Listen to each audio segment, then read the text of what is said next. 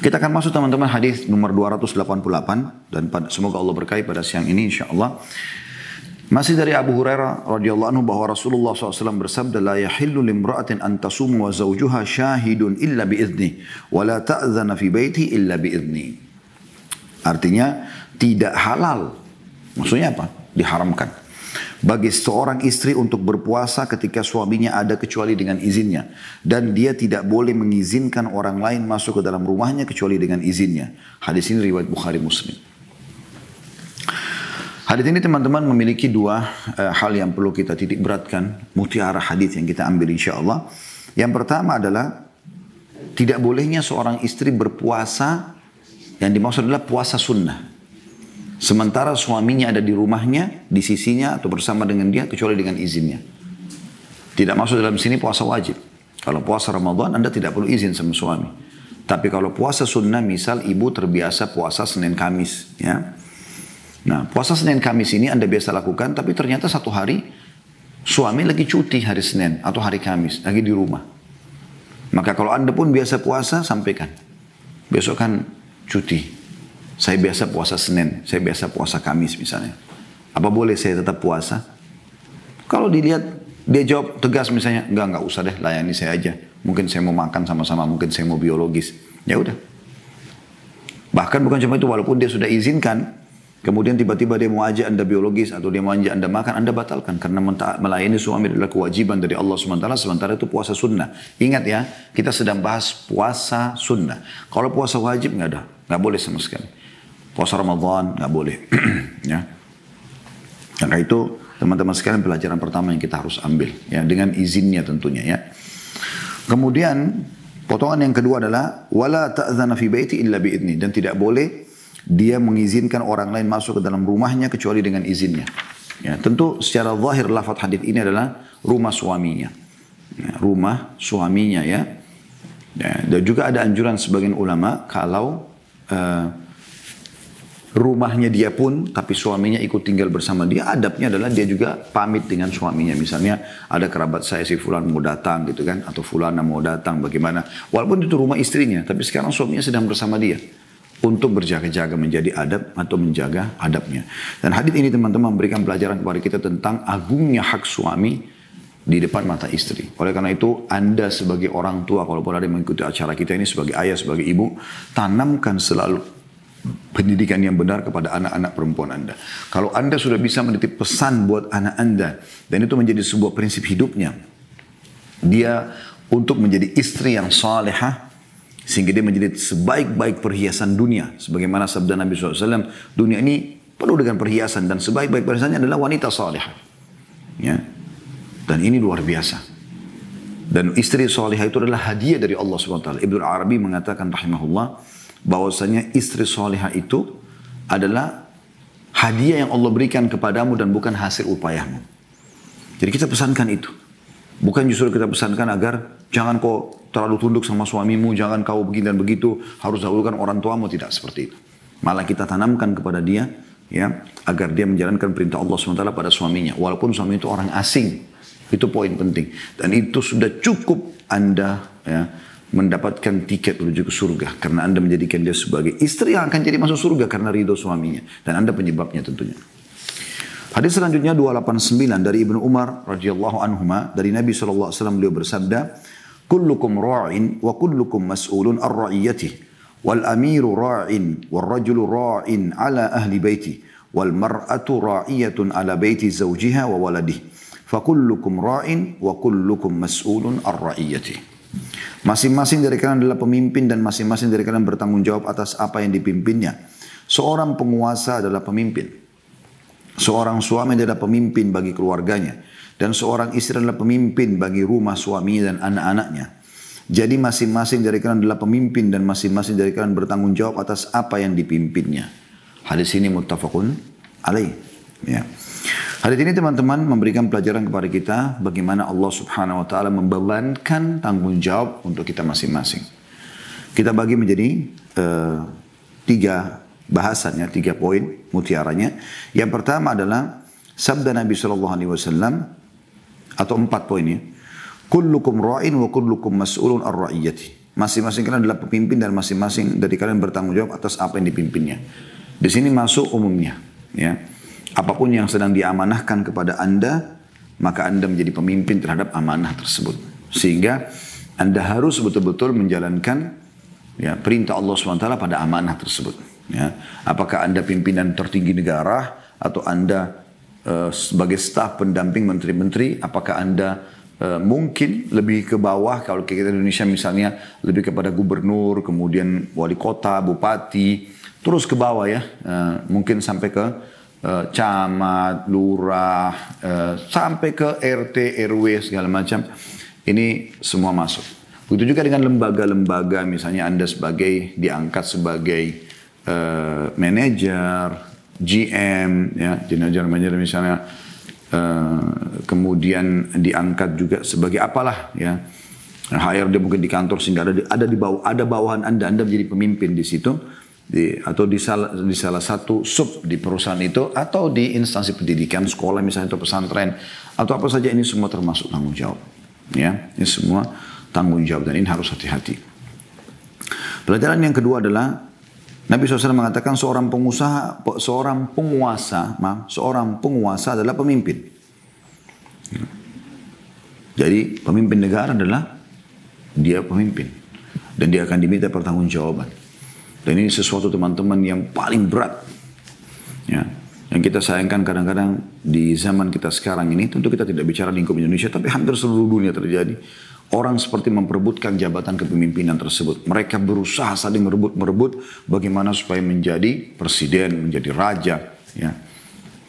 Kalau dia memang ahli di situ dan dia bisa, dia siap bertanggung jawab depan Allah, nggak ada masalah. Karena salah satu yang akan mendapatkan naungan Allah di hari kiamat adalah pemimpin yang adil. Ya. Tapi anda kalau terusuri bagaimana keadilan seorang pemimpin itu luar biasa. Dia harus adil Adil dalam arti kata semua masyarakatnya dimuamalai sama gitu kan. Semuanya mendapatkan haknya. Kalau ada satu saja yang terbengkalai maka cukup akan menghabiskan pahala dia pada hari kiamat. Gitu kan. Dan Nabi SAW mendoakan sebenarnya dalam hadis yang sahih. Ya Allah siapa pun yang diberikan tugas untuk mengurus urusan umatku maka dan dia mudahkan urusan mereka, dia berikan hak mereka, maka mudahkan urusannya. Dan siapa yang menyulitkan buat mereka, maka sulitkan juga hidupnya. Nabi SAW sampai mendoakan begitu. Ya. Pemimpin itu kalau betul-betul dia bisa menjalankan, maka dia akan menjadi orang yang terselamatkan di akhirat. Ya. Dunia juga bahagia, di akhirat pun begitu. Tapi kalau dia salah sedikit saja jadi masalah. Oleh teman-teman hati-hati. Hati-hati. Para sahabat Ridwanullah alaihim kalau kita uh, mulai menyusun histori mereka, mereka berusaha menghindar semaksimal mungkin karena takut tanggung jawab dari hari kiamat. Itu luar biasa gitu. Bagaimana Umar bin Khattab pada saat tertusuk oleh Abu Lu'lu, lalu beliau kumpulkan enam orang sahabat yang tersisa yang masuk surga ya. Ada sepuluh yang masuk surga. Tentu ada banyak di jamin masuk surga, tapi sepuluh itu terkenal sekali. Ashrum basyirin bil jannah. Ya, sepuluh orang yang dijamin masuk surga. Nah, Abu Bakar sudah meninggal. Ada Umar, tapi Umar sudah jadi khalifah. Sekarang sisanya ada lagi. Ya, Waktu itu tinggal enam orang intinya. Tujuh sama Umar. Gitu kan. Yang tiga itu sudah meninggal terlebih dahulu gitu. Nah yang enam ini, yang tersisa ini, ya, selain Umar bin Khattab adalah Uthman bin Affan, Ali bin Abi Thalib, ya, Sa'ad bin Abi Waqqas, Abdurrahman bin Auf, Talha bin Ubaidillah, dan juga Zubair bin Awam. Nah enam orang ini dikumpulkan oleh Umar lalu didatangkan di rumah Umar, lalu Umar tunjuk ada satu ruangan, kata Umar ini rumah. Ini kamar selalu saya pakai memecahkan perkara umat. Maka masuklah kalian di sini dan hai Abdurrahman kau jadi pemimpin majelis, jangan keluar dari ruangan tersebut kecuali sudah harus ada satu pemimpin yang ditunjuk oleh kalian. Ya. Maka masuklah mereka di dalam dan mereka ini berusaha berharap temannya yang jadi khalifah pada saat itu, teraja. Karena takutnya tanggung jawab depan hari kiamat, depan Allah SWT. Tapi karena Umar menekankan harus ada satu orang, maka mereka memilih Siapa di antara mereka yang paling banyak pujian Nabi SAW terhadap dia. Maka pada saat itu mereka menemukan Uthman bin Affan dan Ali bin Abi Thalib radhiyallahu anhum radhiyallahu anhuma yang lebih baik dari yang lain dan Uthman bin Affan unggul satu atau dua hadis dari Ali radhiyallahu anhu juma'in. Yang penting jelas Uthman ditunjuk pada saat itu dan dia menerima jabatan tersebut karena memang tidak ada pilihan lain. Ya, seperti itu, luar biasa. Mereka hati-hati sekali. Waktu Ali bin Abi Thalib menjadi khalifah dan beliau disiapkan satu istana besar di Irak, ya karena di zaman khilafahnya beliau, beliau pindahkan ya, pemerintahannya di akhir-akhir itu dari Madinah ke uh, Irak ya. Begitu jadi sana tersebut lalu beliau ditawarkan, beliau tidak tahu sebelumnya gitu kan. Nah, maka Ali bin Abi Thalib lari sambil mengatakan, sungguh istana uh, kesombongan ya, kecelakaan. Beliau tinggal di tempatnya yang biasa saja karena takutnya. Kalau kita sekarang kan malah dijadikan sebagai ajang berbangga-bangga dengan kendaraan, dengan pakaian, dengan tempat tinggal, memperbanyak harta yang semua itu ada tanggung jawabnya di depan Allah SWT. Orang mukmin tahu akan ada hari kiamat, akan ada kematian, akan ada hisab. Ya. Ini luar biasa. Sampai Allah SWT mengatakan, وَمَنْ يَعْمَلْ مِثْقَالَ ذَرَّةٍ خَيْرًا يَرَى Siapa yang berbuat seperti biji sawi dari kebaikan, dia akan lihat, وَمَنْ يَعْمَلْ مِثْقَالَ ذَرَّةٍ شَرًّا يَرَى Siapa yang melihat seperti biji sawi, siapa yang berbuat seperti biji sawi dari keburukan, dia akan lihat. Ini hati-hati. Pelajarannya tentu ini panjang kalau kita mau bahas ya. Tapi saya cukupkan di situ. Yang ketiga adalah potongan dikatakan warrajulu ra'in ala ahli baiti. Dan seorang suami atau laki-laki bertanggung jawab terhadap istrinya, termasuk anak-anaknya. Nah, boleh dia biarkan rumah bocor, tidak boleh dia biarkan keamanan e, terbengkalai dari rumahnya, tidak boleh dia biarkan tidak ada makanan dan minuman, atau mereka mereka tidak punya pakaian, sementara dia punya kemampuan. Beda kalau dia tidak mampu, tapi kalau dia mampu tanggung jawabnya. Jadi bukan karena kita lihat istri kita, bukan karena kita lihat anak kita, tapi karena perintah Allah di situ. Anda sebagai suami harus tahu tanggung jawab. Bekerja keras untuk meraih ridho Allah subhanahu wa ta'ala. Dan kita berikan kepada anak istri kebutuhan mereka. Bukan karena mereka, tapi karena Allah SWT. Kita hanya sampai ajal datang. Ini penting sekali untuk diperhatikan. Karena banyak suami membengkalikan. Seakan-akan bukan kewajiban. Apalagi kalau istrinya orang mampu, ya sudah nggak perlu dia berikan nafkah. Nggak bisa, akhi. Harus anda berikan nafkah walaupun semampu anda. Walaupun istri anda lebih kaya. Kecuali dia yang tanazul. Melepaskan haknya. Dia mengatakan, saya udah uh, nggak usah diberikan nafkah karena saya sudah cukup. Nah itu boleh. Ini penting. Ya, diperhatikan baik-baik pakaiannya, makanannya, minumannya, keamanan tempat tinggalnya segala macam. Kemudian potongan yang ketiga ya. Maaf, potongan yang keempat. Wal mar'atu ra'iyatun ala baiti zawjiha wa waladihi. Dan ini saksi bahasan kita ya. Dan wanita atau istri pemimpin terhadap rumah suaminya dan anak-anak suaminya. Jadi ibu-ibu hati-hati. Rumah itu amanah dari Allah Subhanahu wa taala melalui suami Anda. Kebersihannya, perhatikan, kebersihannya, kerapiannya, ya. Perawatan kan harus dijaga rumah itu. Gak boleh sembarangan itu. Karena Allah subhanahu wa ta'ala tata rumah itu yang membuat anda nyaman, anak anda nyaman, suami anda nyaman. Dan semua karena Allah. Sudah rumahnya enak, bersih, Masuk dalam juga masakan yang enak, ya. Dijaga semua amanah itu. Jangan suami tanya, mana gelas saya kemarin? Oh nggak tahu. Tanya pembantu nggak tahu. Sendok hilang, pisau hilang, bebankan lagi sama suami. Ini pecah, itu pecah, nggak dijaga. Kalau memang tidak disengaja beda. Ada sebagian wanita, masya Allah, jaga sekali masalah itu. Sehingga mungkin awet barang-barang yang dikasih oleh suaminya. Gitu kan? Setiap kali suaminya datang, dia sudah siapkan semua dengan gelas yang bagus, dengan makanan yang bagus, dengan luar biasa. Semua karena Allah subhanahu wa ta'ala. Nah, itu luar biasa. Tapi ada sebagian wanita tidak lalai. Setiap suaminya tanya, mana ini? Gak tahu. Mana itu? Gak tahu. Apa semua gak tahu barang suaminya. Lalu dia buat apa di rumah gitu. Ini berbahaya sekali. Ini tanggung jawab akan Allah tanyakan Ibu hidup 10 tahun sama suami, setiap hari itu Allah akan tanya. Hari ini kenapa kau tidak buat begini? Besok juga ditanya, lusa ditanya sampai hari Anda meninggal dunia. Dari pertama Anda menikah. Hati-hati. Hati-hati sekali. Ini adalah perintah, tanggung jawab. Kata Nabi SAW. Wal mar'atu ra'iyatun. Dan istri adalah pemimpin ala baiti zawjiha. Terhadap rumah suaminya. Dia bertanggung jawab. Tadi sudah bilang, saya, saya, saya, sudah bilang tadi kebersihan, kerapian, penataan, apalah amanah semua di rumah itu. Barang-barang jangan sampai hilang. Karena ini sering terjadi. Kelalaian terjadi pada setiap muslimah.